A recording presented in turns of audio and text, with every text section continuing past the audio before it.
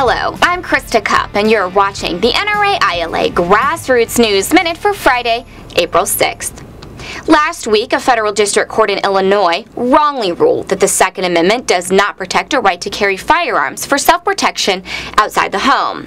The NRA funded this challenge to Illinois' ban on citizens' ability to carry firearms legally outside their homes and businesses for self defense, and will also be supporting an immediate appeal to the Seventh Circuit U.S. Court of Appeals and to the Supreme Court if necessary.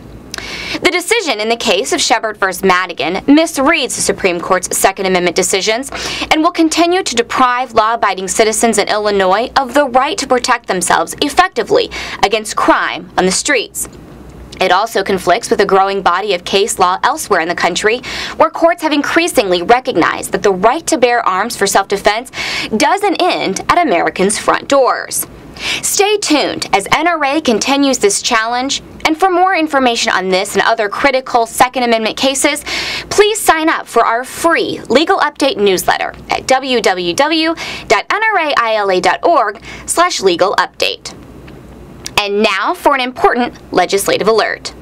Because the expansion of America's urban and suburban areas has crowded out so many shooting areas and made it increasingly difficult to find a place to shoot, last September, U.S. Senators Mark Udall and Jim Risch introduced Senate Bill 1249, a bill that would help remedy this problem by promoting the construction and maintenance of target ranges on public lands.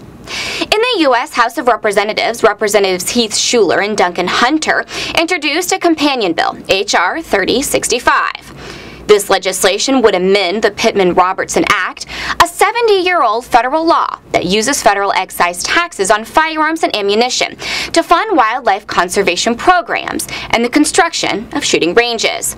The bill's improvements to the Pittman Robertson Act would allow the states far greater ability to purchase land, build new target ranges, and improve the ranges that currently exist. And just last month, Senators Udall and Risch sent a letter to the Committee on Environment and Public Works Chairman Barbara Boxer, Ranking Member James Inhofe, urging them to hold a hearing on the bill. This would be a step toward having it pass committee and be ready to be taken up by the full Senate for a vote. For more information on these stories and for other up to date legislative alerts, please visit our website at www.nraila.org.